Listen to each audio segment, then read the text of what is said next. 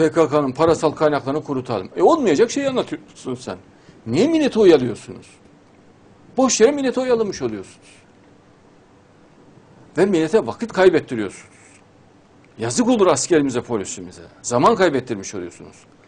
Parasal kaynağı şu ana kadar kapatılamıyor muydu? Devlet bilmiyor mu bunu?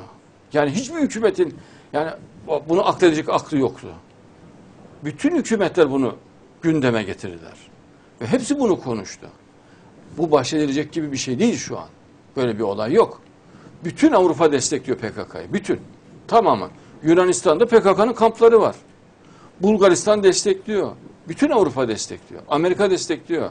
Çin destekliyor. Kuzey Kore destekliyor. Irak, Suriye destekliyor. Fikren yenersen bu durur. Olmayacak şeylerle Müslümanları, milletimizi meşgul etmek yanlış olur. İnşallah.